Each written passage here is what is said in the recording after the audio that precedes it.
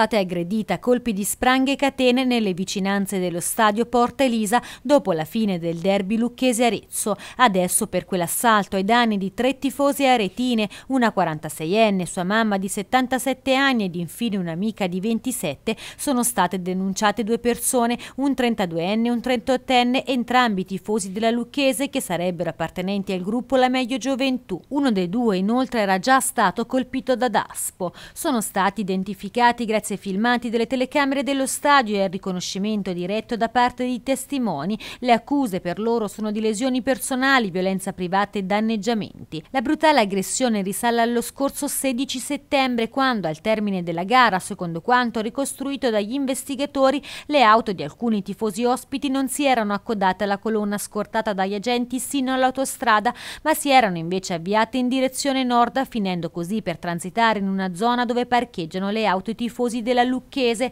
ed è a quel punto che alcuni supporter rossoneri avevano bloccato e circondato la macchina con a bordo le tre donne, da lì era partita l'aggressione con calci e pugni agli sportelli dell'auto, poi aggressori avevano anche infranto il lunotto posteriore della vettura. Le tre donne infine erano riuscite a fuggire. Proseguono intanto le indagini della Digos della questura di Lucca per individuare gli altri responsabili della violenta aggressione. Il gruppo infatti probabilmente era costituito da 7 o 8 persone. Per gli inquirenti non si tratterebbe comunque di un'aggressione premeditata.